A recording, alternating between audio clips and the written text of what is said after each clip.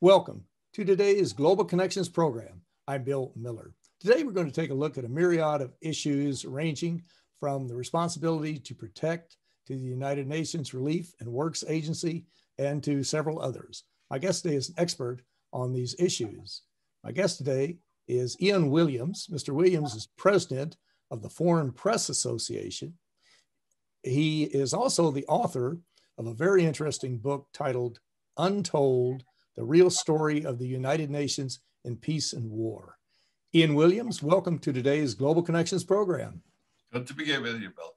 I appreciate you being with me. Ian, we're going to get into your book in just a moment. But first off, just very briefly, what is the Foreign Press Association? It's a 501c3 nonprofit, I assume, but basically, what's its mission?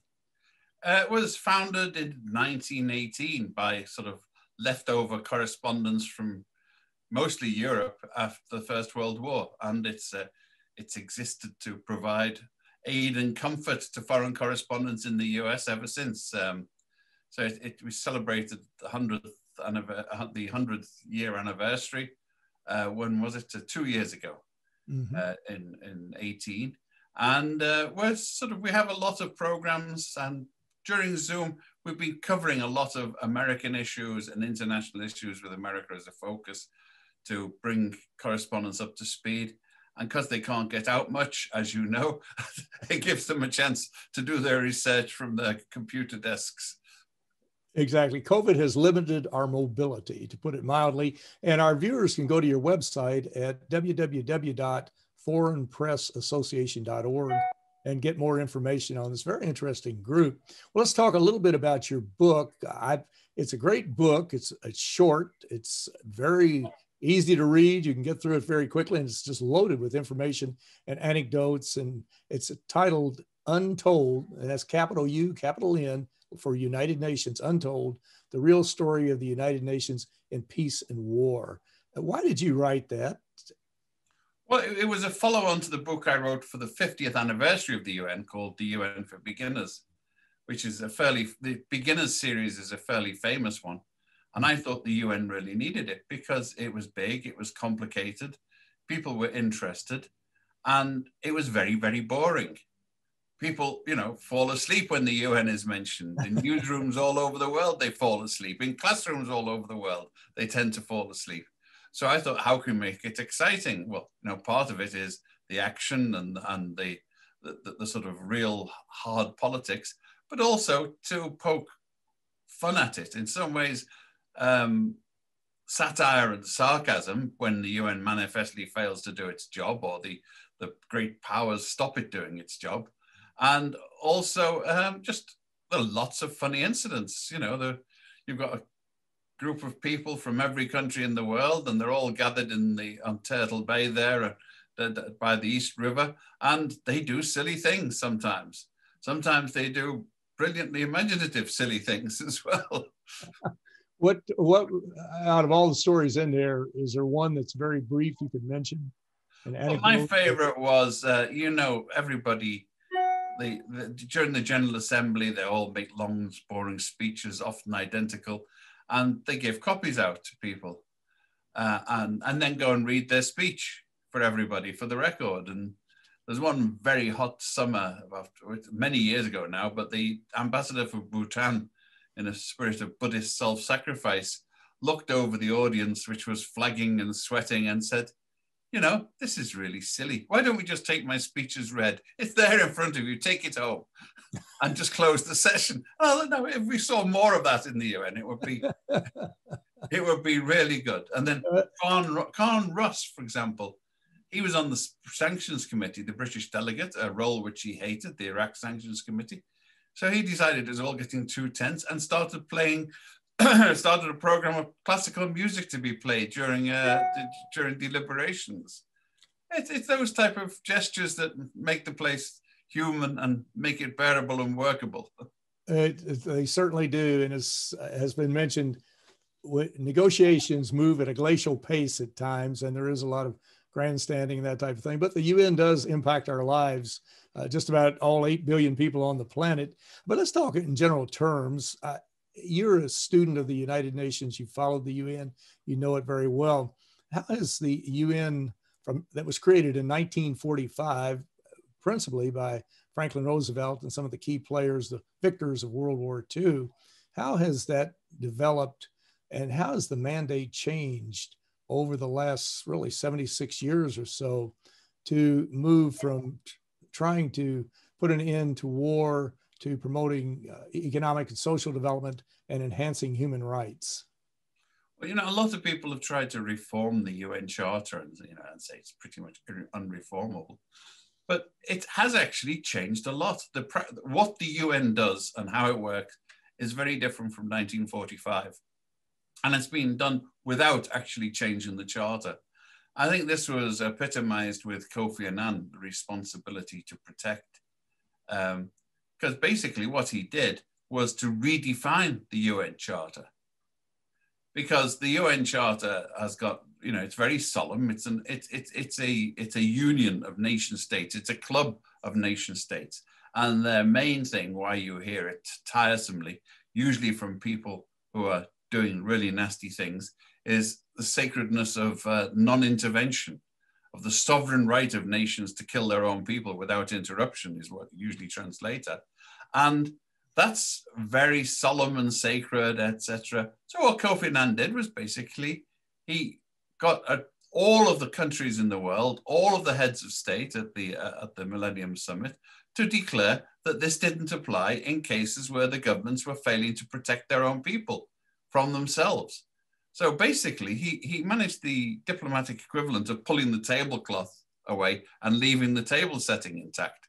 So we actually got, you know, the UN Charter wasn't changed, which would have taken horrendous amount of work, two thirds majorities, etc., etc. The connivance of all five permanent members, but he reinterpreted it. So the responsibility to protect, which, you know, I think was a good thing unfortunately, it was pretty much it's been thwarted in application because the Iraq War followed when it was the concept was grossly misapplied by Tony Blair in particular and uh, George W. Bush.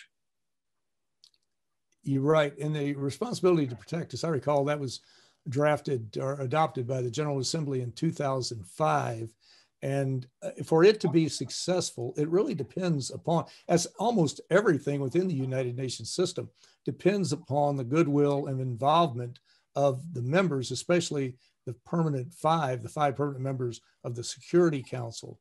Have they not stepped up on this?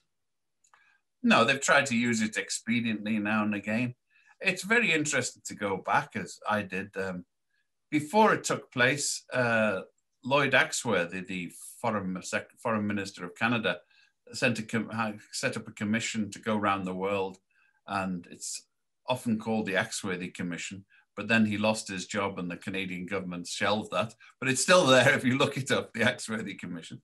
And it was very interesting because they went to all the different countries and took evidence from them about what their worries were. And their worries were about interference, that it would be used as a cover for imperialist intervention in their countries, which it has been.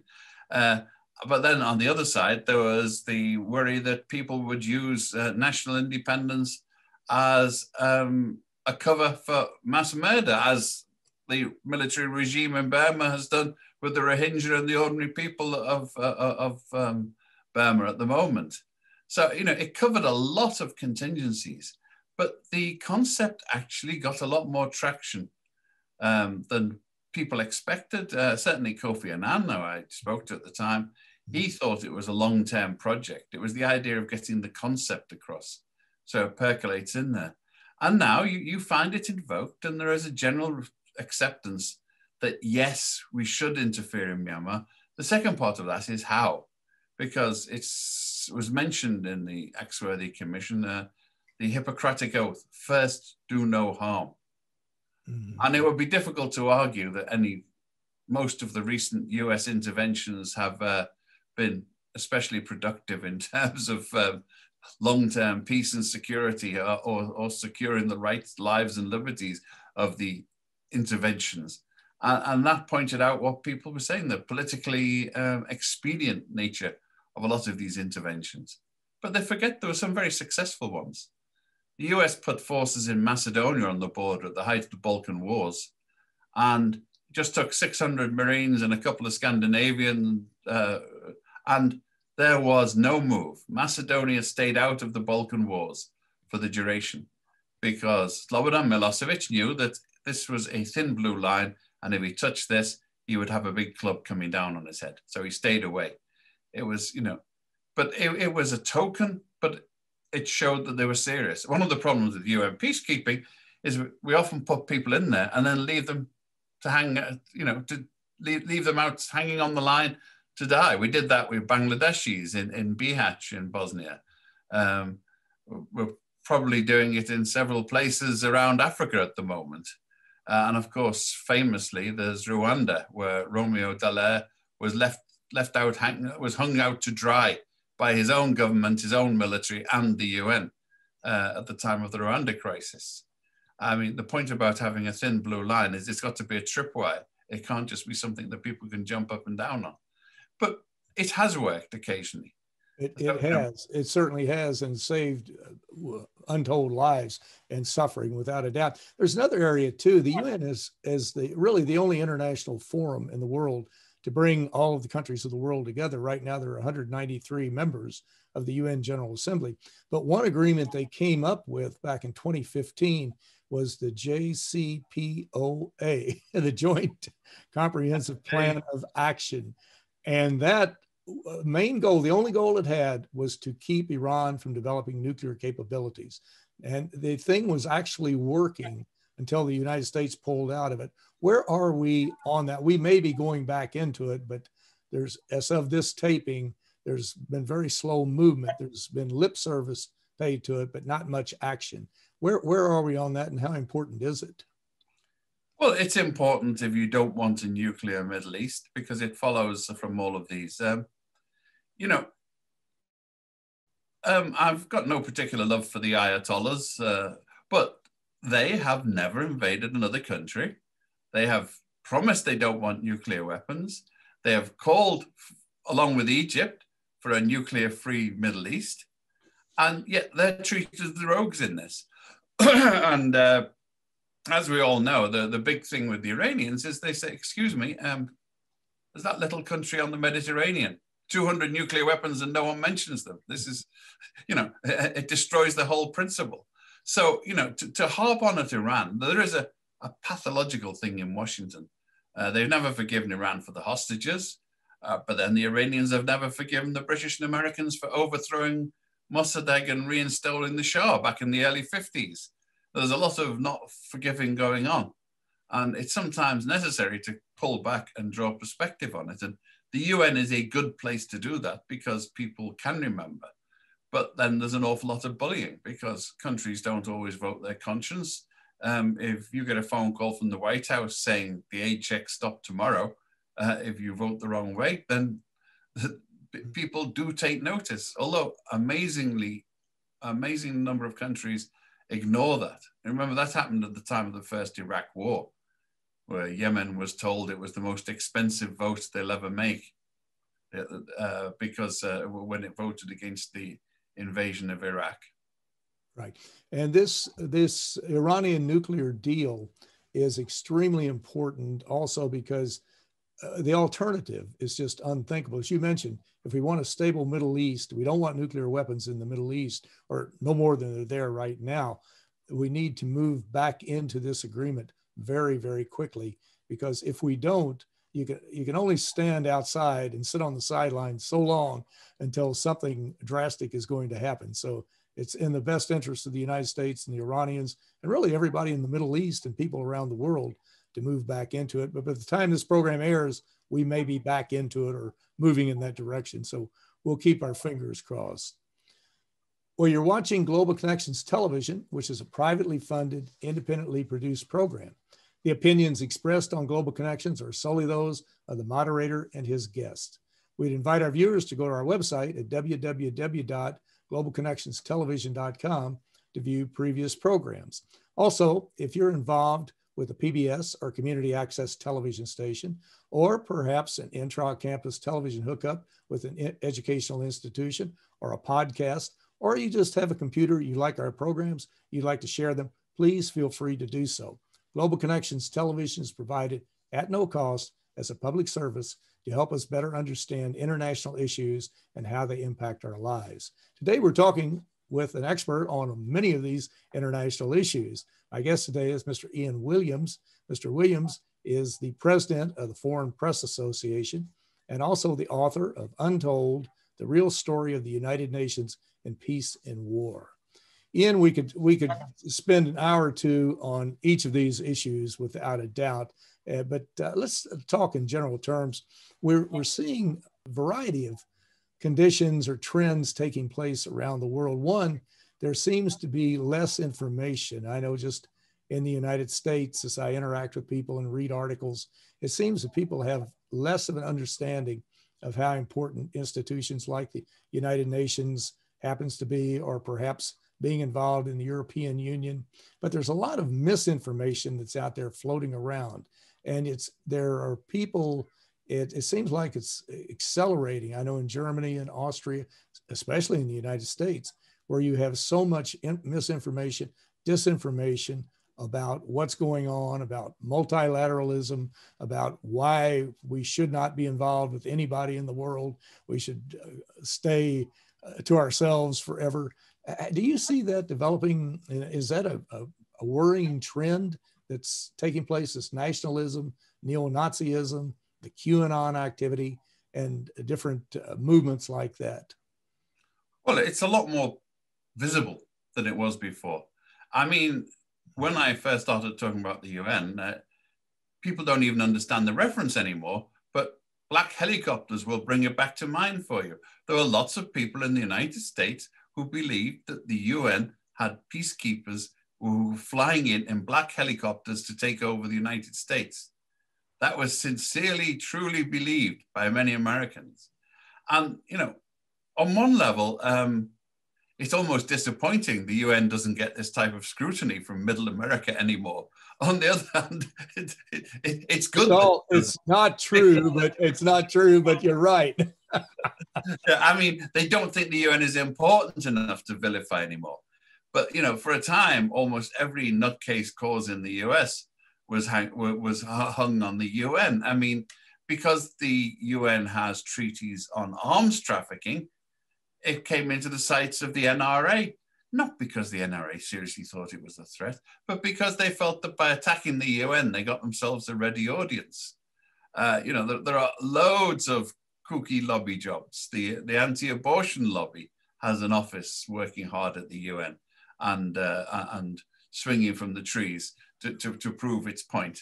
And once again, it's harnessing the, the what they think is the bedrock anti-UN skepticism out there in the heartland for donations. Um, I was even invited to speak at the Conservative Political Action Committee some years ago and debated Ron Paul about these issues, uh, which was which was fun. I can imagine. There's a tape of it somewhere, and uh, he, you know, I, I, quite enjoyed it.